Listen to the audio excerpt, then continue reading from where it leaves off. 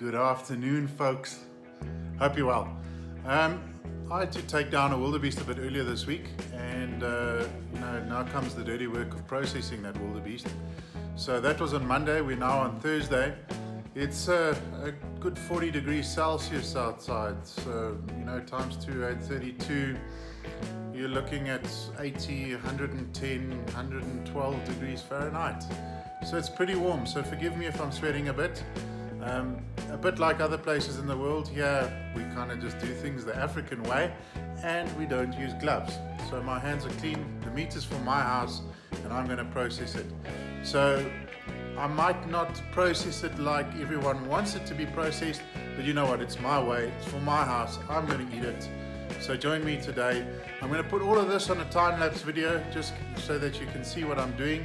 And basically what I'm trying to do is I'm just going to make some sausage and uh, I'm going to make a bit of biltong or jerky as you call it. And uh, yeah so just follow me through the process.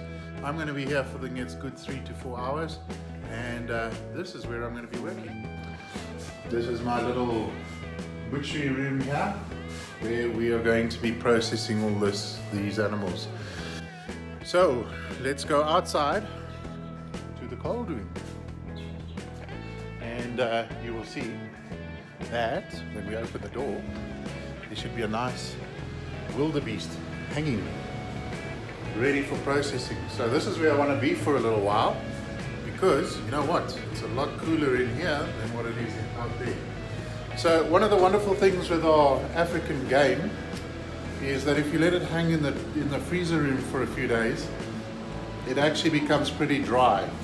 And uh, if you look very carefully, you can see all the places that you need to cut around the sinew.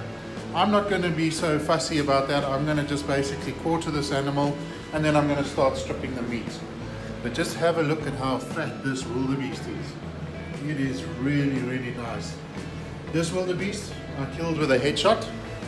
So there's going to be no wastage of meat, that's for sure. And uh, it was well bled out.